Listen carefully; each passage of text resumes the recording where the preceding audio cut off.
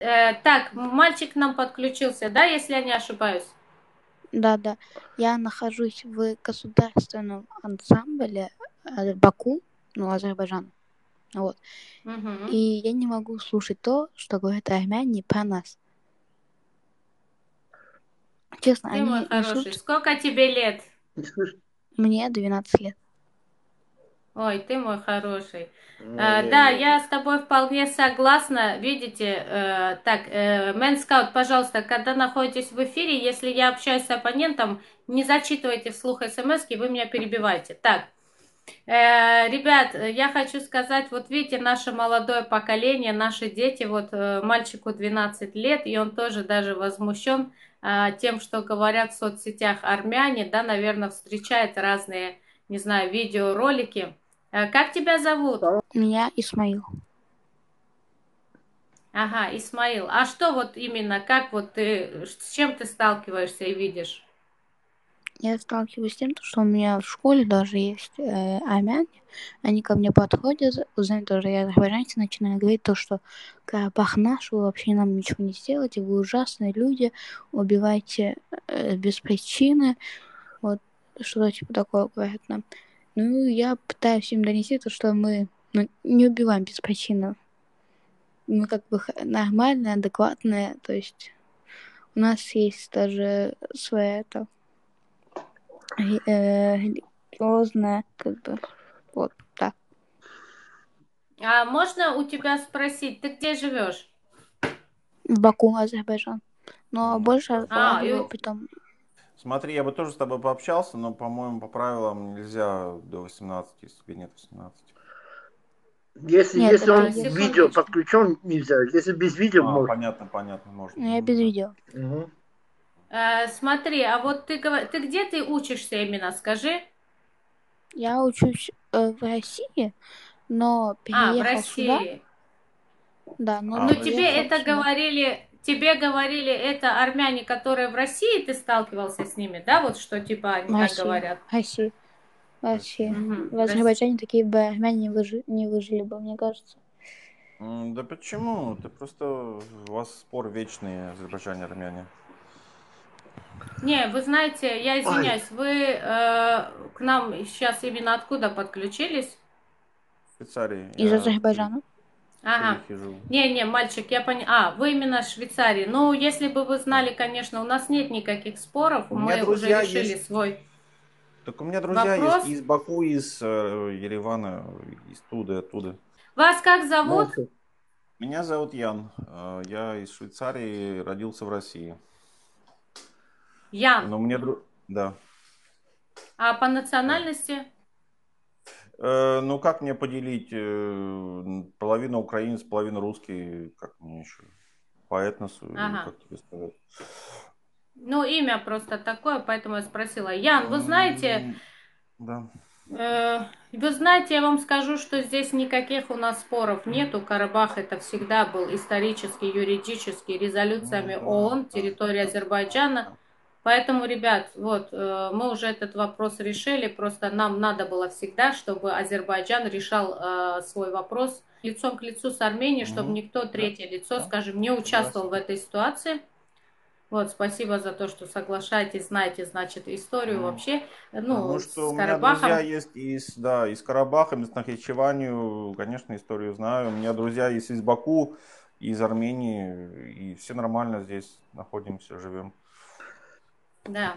Поэтому я думаю, что этот вопрос уже решен. Да, э, Мейман, вы что-то хотели сказать? Я просто хотел спросить у Яна, я очень извиняюсь, Ян, а как вы поступили, если кто-то, я, я пришел и отобрал одну комнату у вас, в вашем, в вашем доме, в вашем, в вашем смотри, к, ч- к- к чему ты, к чему вы это говорите? Во-первых, не Конечно, ты, я- а вы.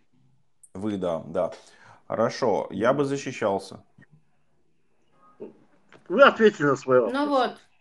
Вот. Но он это и говорит. Он, в принципе, и соглашается, Мгм. говорит, что А я знаю всю смотрите, историю и да. знаю, что... Да, ну как бы с Нахичеванию, с Карабахом я всю эту историю знаю, потому что я даже э, работу писал по этой теме. А сейчас, смотрите, уже другая история началась с Украины. Это. Да. Ну а как вы относитесь Да, к тому, что кстати, приходят и ну, забирают? Как я отношусь, ребят, я не однажды, неоднократно уже выражалась и говорила на этот счет свое мнение, как я отношусь к этому. Но сегодня, конечно, грубейшая ошибка и нарушение международных прав со стороны России к Украине. Сегодня идет оккупация Да. территории, истребление, скажем так, э, народа, мирных Да. жителей. А, Соответственно, я против этого. Соответственно, я знаю, что нарушаются, опять же, резолюции ООН, а, нарушается э, территориальная целостность Украины как суверенное государство. Это грубейшая политическая ошибка. Я скажу, что военное преступление, назову это так. Поэтому я конкретно не поддерживаю это, и я за свободу Украины. Ну, конечно, конечно, молодчинка. А то, что пацаны каждый день гибнут, э, по сотне человек, 300, там, 500 человек умирает, пацанов молодых. С какой стороны вы имеете в виду? Э, Из России? Да, с собой, да собой, с обоих, собственно говоря. Но что я могу сказать, Ян? Вы понимаете, Украина э, умирает, э, как бы люди умирают за свою родину, за свободу своей родины. А вот почему Ну, Россия это делает? Привет, Да, Украина. там, да, да, там с теробороны, с ЗСУ умирают, а русские посылают просто из Белгорода там, в Харьков э, каждый день. Просто жалко, что Ну да. молодые пацаны Ну, А кто их про то, направляет что туда? А кто их направляет туда? У них Ну, спросите. кто, офицеры, офицеры Особенно, отправляют. особенно, да, РФИ. Это Мгм. относится к РФИ. Ну, так и есть. Так Так что, я, Вот насчет того, что- тоже- Вы служили, мужчина? я прошел Карабах. Первый Карабах. А, ну да, да, да. Ну, я тоже офицер, у меня тоже звание есть. Э, Смотри, просто такие дебилы бывают офицеры, которые пацанов просто на смерть посылают. Вот это вот э, я еще узнал давно. Если вы офицер, то должны знать, что как бы э, понимать, что такое, как бы защ- есть такая специальность защищать Да. родину. Да, ну, Так что- да, правильно, защ- защищать родину, а не нападать на другую страну. Ну все. Да. благодарить э, ваш народ за поддержку Украины, за большую поддержку, за то, я видела, как в Азербайджане собирали гуманитарную помощь на Украину.